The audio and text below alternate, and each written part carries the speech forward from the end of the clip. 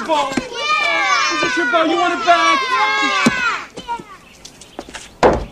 Go get it!